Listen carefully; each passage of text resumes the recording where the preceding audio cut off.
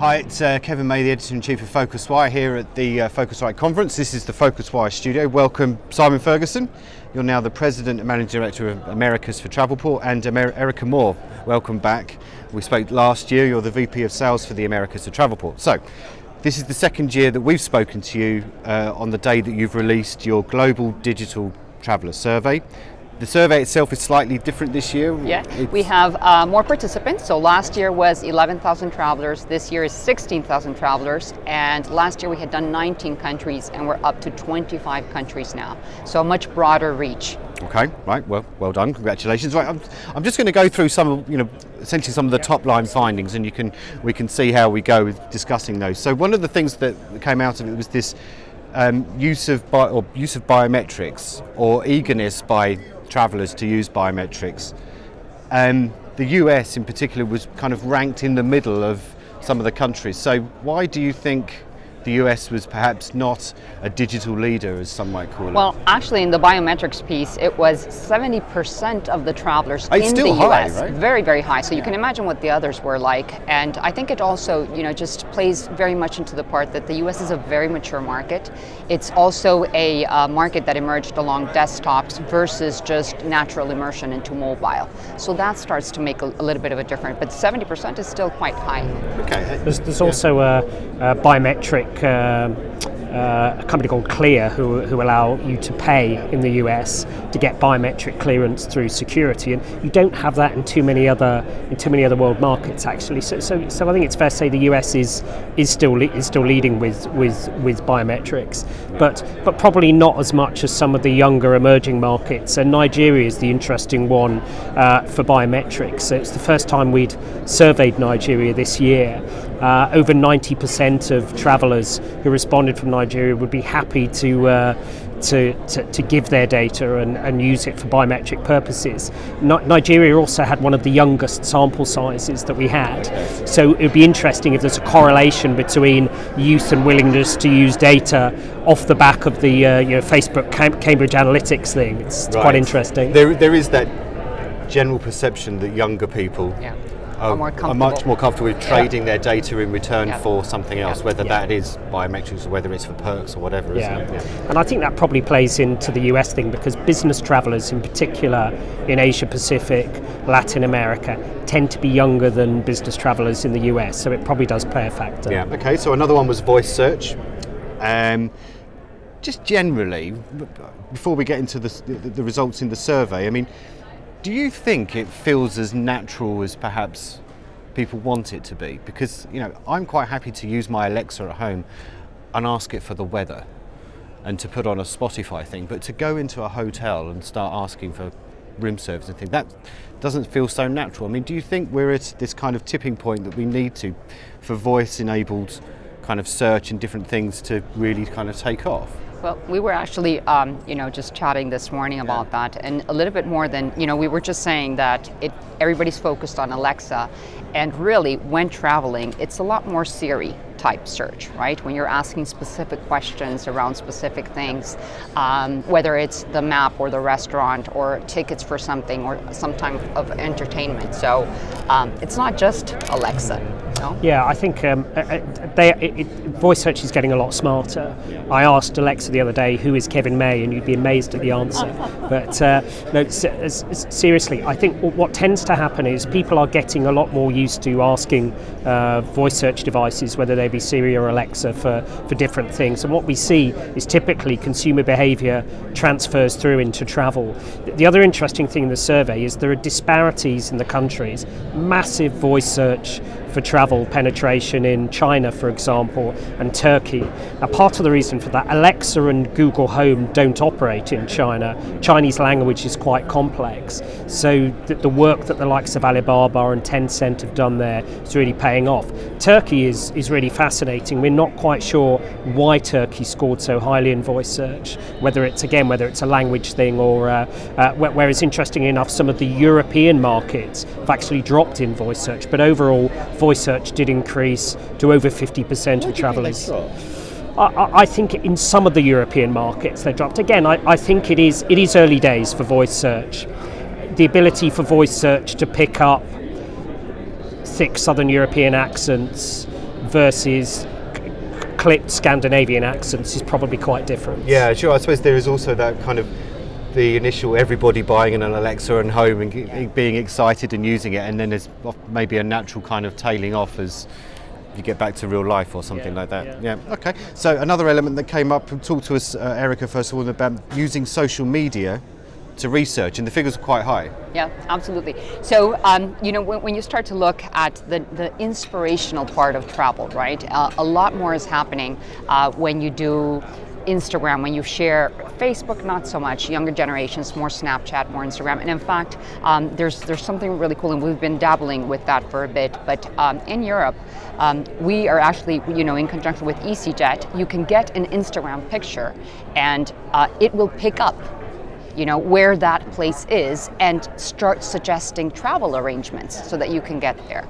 So that's that's what we're seeing, right? It's that it's that inspirational component, or um, when it's activities, um, whether it be again, you know, on on site while traveling, it's your friends start to ping you, right? Look at this, and this is cool, and this is coming up, and they start suggesting, and artificial intelligence plays a role in that as so well. It, indeed, so they're, they're kind of the, the traveller influencer kind of movement on Instagram may actually have, hold more power than perhaps us skeptics in the media would suggest.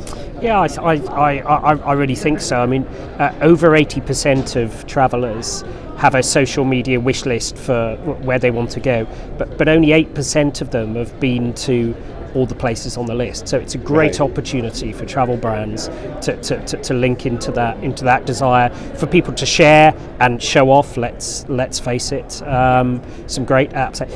Again, if, if you look at the survey, some very interesting differences there. When you look at you look at China, where your WeChat, for example, is, is kind of social media plus payments plus you know kind of everything integrated. You, you get a you get a you get again a you know a much higher flow there. It's much more integrated into the inspiration through into the into the booking process. Okay, so uh, Erika, talk to us a little bit about the results how they're related to reward schemes and loyalty and stuff like that. So, um, abs- what, what we've been seeing is that there is an absolute um, very strong correlation between um, the, the participating and booking and generating that, that loyalty to the brands through social media, right? And more and more a way in which um, companies are um, starting to secure that brand awareness and that return uh, you know to the sites and to the brand uh, whether it's the airlines for example right through their branded fares um, it's by linking those types of programs and and creating more um, adoption yeah, and there was something else that came up. If people would, would rather trade off this a good digital experience, or they would rather have a good digital experience rather than get air miles. Well, I think that's probably you know, air miles aren't always the easiest to redeem, is the issue. That's true. Yeah. Uh, you know, there are some startups that are doing some good work in making them easier to to, to, to redeem. Uh, so I think I think it's it's it's partly a consequence of that. But but I, I think also on the rewards thing, I mean, it, it actually corporate travel is an example of where smart travel managers are starting to use gamification and reward to incentivize their travelers to to adhere to policy, which is a really smart way of using, you know, digital techniques in the leisure space into the corporate travel environment.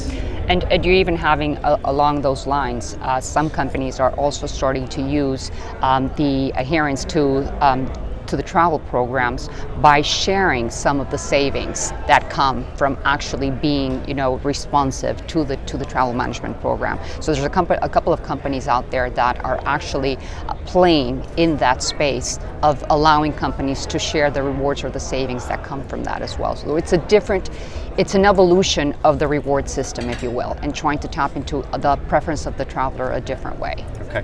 Uh, the results of this survey are freely available, so people can go and get. There's, there's a lot of data there. I just wanted to, you know, as we kind of wrap up. I mean, what does this all kind of mean for Travelport? It's great that you do this survey every year and you get a lot of data back. How do you then apply it to what you're doing back at the ranch, as it were?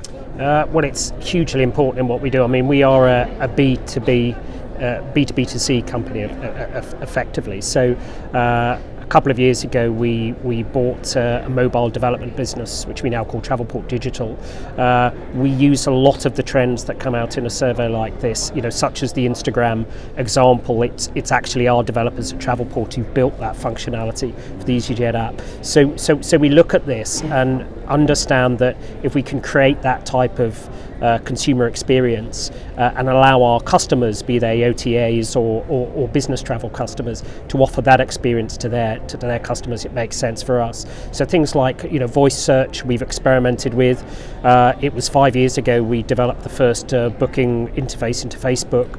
Uh, chatbots are a big area for us. So growing the automation of the, the post booking travel experience through allowing travelers to interface with travel brands, but it's a chatbot that's doing the heavy lifting. Those are just a couple of examples of where we take this data and, and actually apply it into our own product development process. Okay, and, and, and Erika, I mean, you focus specifically on uh, uh, on the Americas. I mean, do you think the customers that you talk to you know, they might think, oh, this is a, this is a terrific survey and it's all very interesting. But do you sense that they would they're kind of kind of tuned into all this and what is the opportunity yeah. for them? So so actually, it's um, it's it's the, even our customer base is a great, great reflection of the trends that you start to see. The U.S. ranked in um, as number 15 in terms of digital adoption in, in the survey, right?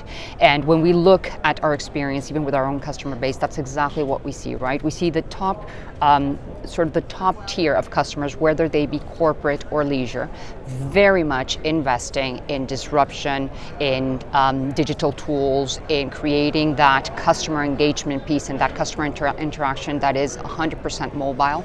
Um, and then we have a, a, broader, mature base that is a little bit more traditional, um, but still going into smartphones, going into digital, but a little bit more cautiously, not sort of embracing everything and disrupting right. the whole um, the whole ecosystem. Okay, and we'll finish with you, Simon. So, um, we talked last year.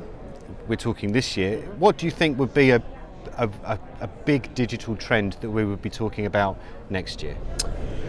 Uh, I think voice search is is going to continue to be more and more uh, endemic. Um, I think also something that came out of the survey. I think I think we know that mobile is where it's at, but there's a big opportunity to uh, to to to create an experience where multiple apps come together in in one mobile experience. There's a number of companies ourselves who are working on that.